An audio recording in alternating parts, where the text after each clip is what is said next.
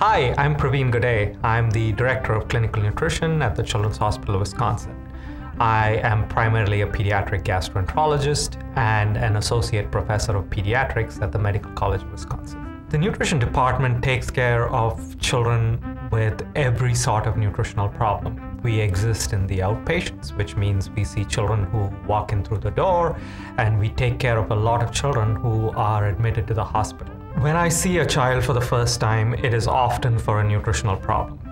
Uh, and invariably they are seen by my nurse and uh, oftentimes by my dietitian as well.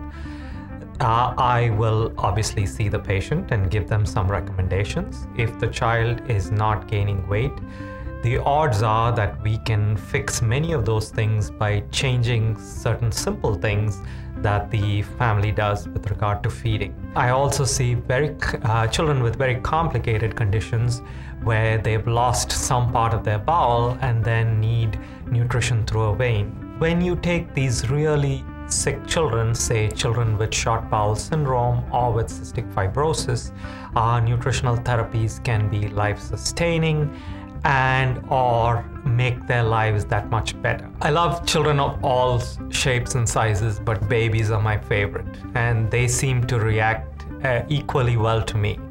I don't know if they are happy to see me, but I'm always happy to see them in my clinic. I will use the uh, slightest opportunity to hold them. I typically hold them while I'm talking to their parents. Uh, and I have I have families that give me photographs, and I have a little wall of fame in my office. Uh, and uh, yeah, I love I love getting hugs from these little kids that I help make better.